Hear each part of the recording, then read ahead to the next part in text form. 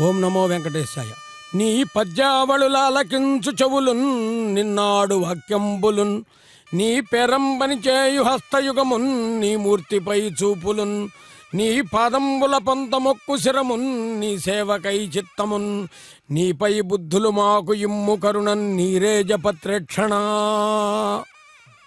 నీరేజపత్రేక్షణ నీటి నుంచి ఆవిర్భవించినటువంటి పద్మముల వంటి నేత్రములు కలిగిన ఓ స్వామి. అని ఈరోజు మనం అనుకోవచ్చు. ఎందుకంటే స్వామివారం నిజనేత్ర దర్శనాన్ని అనుగ్రహించేటటువంటి రోజు గురువారం అంటే బృహస్పతి వాసనం వసంతోత్సవంలో నీరాజనాన్ని వీక్షించాం. తదుపరి వేద పండితులు వేదవాచ్య కైంకర్యాన్ని సమర్పిస్తూ ఉండగా తిరుమంజనం ప్రారంభించబోతున్నారు. వసంతోత్సవ వైశిష్యంలో భక్తితో వీక్షిద్దాం. ఏడుకొండలవాడ వెంకటరమణ గోవింద గోవింద. వేదం బెవ్వని వెతికడిని ఆ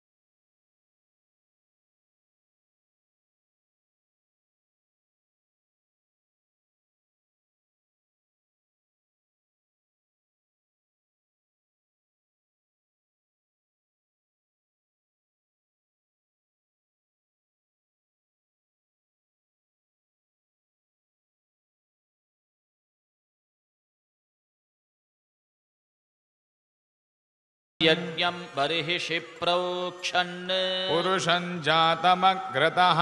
तेन देव अयजन्त। साध्या ऋषयश्च ये। तस्माद्यज्ञात् सर्वहुतः। सम्भृतं पृषदाज्यम् पशुगस्तागश्चक्रे वायव्यान्। आरण्यान् ग्राम्याश्च ये। तस्माद्यज्ञात् सर्वहुतः। ऋचः सामानि जज्ञिरे छन्दागंसि जज्ञिरे तस्मात्। यजुस्तस्मादजायत। तस्मादश्व अजायन्त। ये केचोभयादतः गावो हजज्ञिरे तस्मात्। तस्माज्जाता अजावयः। यत्पुरुषं यदधुः। कतिधाप्यकल्पयन् मुखं किमस्य कौ बाहु कावूरोपादावुच्येते ब्राह्मणोऽस्य मुखमासीत्। बाहुराजन्यः कृतः। तदस्य यद्वैश्यः पद्भ्यागो शूद्रो अजायत। चन्द्रमा मनसो जातः। चक्षोः सूर्यो अजायत। मुखादिन्द्रश्चाग्निश्च। प्राणात् वायुरजायत। नाभ्य आसीदन्तरिक्षम्। शीर्ष्णोद्यौ समवर्तत पद्भ्यां भूमिर्दिशश्रोत्रात् तथा लोकागुम् अकल्पयन्। वेदाहमेतं पुरुषं महान्तम्। आदित्यवर्णं तमसस्तु पारे। सर्वाणि रूपाणि विचित्य धीरः। नामानि कृत्वाभिवदन यदास्ते। धाता पुरस्ताद्यमुदा जहार। शक्रः प्रविद्वान् प्रदिशश्च तस्रः। तमेवं विद्वानमृत इह भवति। नान्यः पन्था अयनाय विद्यते। यज्ञेन यज्ञमयजन्त देवाः। तानि धर्माणि प्रथमान्यासन् देहनाकं महिमानः सचन्ते यत्र पूर्वे साध्याः सन्ति देवाः। अभ्यस्तम्भूतः पृथिव्यैरसा च विश्वकर्मणः समवर्तताधी। तस्य त्वष्टा विदधद्रूपमेति। तत्पुरुषस्य विश्वमाजानमग्रे। वेदाहमेतं पुरुषं महान्तम्। आदित्यवर्णं तमसः तमेवं विद्वानमृत इह भवति। नान्यः पन्था विद्यते यनाय प्रजापतिश्चरति गर्भे अन्तः। अजायमानो बहुधा विजायते। तस्य धीराः परिजानन्ति योनिम्। मरीचीनां पदमिच्छन्ति वेधसः। यो देवेभ्य आतपति। यो देवानां पुरोहितः। वो यो देवेभ्यो जातः। नमो रुचाय ब्राह्मये। छं ब्राह्मन् जनयन्तः। देवा अग्रे तदब्रुवन्। यस्त्वैवं ब्राह्मणो विद्यात्। तस्य देवा असन्वशे। ह्रीश्च ते लक्ष्मीश्च पत्न्यौ। अहोरात्रे पार्श्वे। नक्षत्राणि रूपम्। अश्विनौ व्यात्तम्। इष्टं मनिषाणा अमं मनिषाणा सर्वं मनिषाणा ॐ सहस्रशीर्षं देवं विश्वाक्षं विश्वशम्भुवम्। विश्वन्नारायणं देवमक्षरं परमं प्रभुम्। विश्वतः परमं नित्यं विश्वन्नारायणगुं हरिम्। विश्वमेवेदं पुरुषस्तद्विश्वमुपजीवति। पतिं विश्वस्यात्मेश्वरगुं शाश्वतगुं शिवमच्युतम्। नारायणं महाज्ञेयं विश्वात्मानं परायणम् नारायणपरं ब्रह्म तत्त्वन्नारायणः परः। नारायणपरो ज्योतिरात्मा नारायणः परः। यच्च किञ्चिज्जगत् यस्मिन् दृश्यते श्रूयतेऽपि वा अन्तर्बहिश्च तत्सर्वं व्याप्य नारायणस्थितः अनन्तमव्ययं कविगुं समुद्रेऽन्तं विश्वशम्भुवम्। पद्मकोशप्रतीकाशगं हृदयं चाप्यधोमुखम् अधो निष्ट्याविदस्त्यान्तु नाभ्यामुपरि तिष्ठति हृदयं तद्विजानीयाद्विश्वस्यायतनं महत्। सन्ततगोशिलाभिस्तुलं बत्याकोशसन्निभम्। तस्यान्ते सुशिरगं सूक्ष्मं तस्मिन् सर्वं प्रतिष्ठितम्। तस्य मध्ये महानग्निर्विश्वार्चिर्विश्वतो मुखः। सोग्रभुग्विभजन् कविः। सन्तापयति स्पन्देहमापाददलमस्तकम्। तस्य मध्ये वह्निशिखा अणीयोर्ध्व व्यवस्थितः। नीलतो यदमध्यस्था वभास्वरा नीवारशोकवत्तन्वी पीताभा स्यात्तनूपमा तस्या शिखाया मध्ये परमात्मा व्यवस्थितः। ब्रह्मा स शिवः सेन्द्र सोऽक्षरः परमस्वराट्। हृदगुं सत्यं परं ब्रह्म पुरुषं कृष्णपिङ्गलम् ऊर्ध्वरे तं विरूपाक्षं विश्वरूपाय वै नमः। ॐ नारायणाय विद्महे वासुदेवाय धीमहि। तन्नो विष्णुः प्रचोदयात्।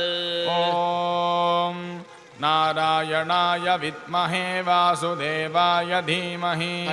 विष्णुः प्रचोदयात्। विष्णोर्नुकं वीर्याणि प्रवोचं यः पार्थिवानि विममे रजागुंसि यो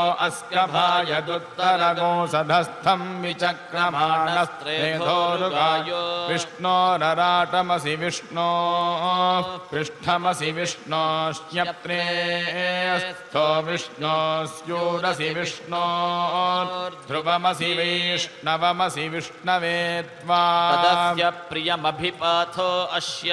नरो यत्र देवयवो मदन्ति। उरुक्रमस्य स हि बन्धुरित्था विष्णोः पदे परमे मत्व उत्सहा प्रतद्विष्णुस्तवते वीर्याय। मृगो न भीमः कुचरो गिरिष्ठाः। यस्योरुषु त्रिषु विक्रमणेषु अधिक्षियन्ति भुवनानि विश्वा। तनुवा वृधाना। न ते महित्वमन्वश्नुवन्ति। उभे ते विद्मरजसि पृथिव्या विष्णो देवत्वम्। परमस्य वित्से। चक्रमे पृथिवीमेष एता। क्षेत्राय विष्णुर्मनुषे दशस्यन्। ध्रुवासो अस्य कीरयोजना सह। रुक्षितिगो सुजनिमाचकार हृद्देवः पृथिवीमेष एता चक्रमे शतर्च सम्महित्वा స్వామివారికి నిర్వహించేటటువంటి వసంతోత్సవ వైభవంలో ఒకవైపున వేదాన్ని వినే భాగ్యాన్ని పొంది మరొక వైపున తిరుమంజనాన్ని వీక్షించేటటువంటి మహద్భాగ్యాన్ని స్వామి కటాక్షం వల్ల మనం పొందగలిగాం చందనాలంకార శోభితుడై ప్రతి ఉత్సవంలో దివ్యాలంకార భూషితుడై ఉంటాడు మణిమాణిక్యాది ఆభరణములతో. వసంతోత్సవంలో మాత్రము చందనాలంకార శోభితుడై దర్శనమిస్తాడు. చందన చర్చిత కిరీటధారి అయి విరాజిల్లుతున్నటువంటి స్వామివారు ఉభయ దేవేరులతో కలిసి తులసిమాలలతో దర్శనమిస్తూ ఉన్నారు. రామావతారంలో చారు తులసి దళధామ అన్నాడు శ్రీరామదాసు. ఆయనకు ఎలా కనపడ్డాడో ఒక అందమైనటువంటి సుందరమైనటువంటి సుగంధ పరిమళ భరితమైనటువంటి తులసిమాలలతో అలంకరించబడినటువంటి శ్రీరామచంద్రుడు కనపడ్డాడు. చారు తులసీ దళధామ రఘురామ అని పిలిచాడు. కృష్ణావతారంలో తులసి యొక్క గొప్పతనాన్ని కృష్ణ పరమాత్మే మనకు తెలియజెప్పాడు. కృష్ణ పరమాత్మని సరితూచాలనేటటువంటి భావన సత్యభామకు నారద ప్రేరణతో కలిగిన ఎంత బంగారాన్ని వేసినా ఎంత ధనం వేసినా కూడా సరితూకనటువంటి మహానుభావుడు పట్టప్రాణైనటువంటి రుక్మిణీదేవి భక్తితో హృదయపూర్వకంగా భక్తితో సమర్పించిన తులసి తులసీ దళానికి సరితూగాడు. అలా తులసి యొక్క మహత్తుని త్రేతాయుగంలో ద్వాపరయుగంలో చెప్పి కలియుగంలో ఇప్పుడు మనం వీక్షించే తులసిమాలతో స్వామివారి దర్శనం ఇస్తూ ఉన్నాడు. సదా సమ్మోహనాయాస్తు వెంకటేశాయ మంగళం అని మంగళాశాసన పురస్సరంగా తులసిమాలంకృతున్న స్వామిని గోవిందనామంతో వేడుకుందాం. తులసీవనమాల గోవింద గోవింద ఏడుకొండలవాడ వెంకటరమణ గోవింద గోవింద గోవిందేతి సదా స్నానం గోవిందేతి సదా జపం అన్నారు. గోవిందనామం పరమోత్కృష్టమైనటువంటిది. తదుపరి సహస్రనామాంకితుడైన స్వామివారికి సహస్రధార కైంకర్యం. సహస్ర శీర్ష పురుష అనే వేద పండితుల వేదనాద నీరాజనుల మధ్య సహస్రధార కైంకర్యాన్ని వీక్షిద్దాం. స్వామి అనుగ్రహాన్ని పొందుదాం. నమో వెంకటేశాయ.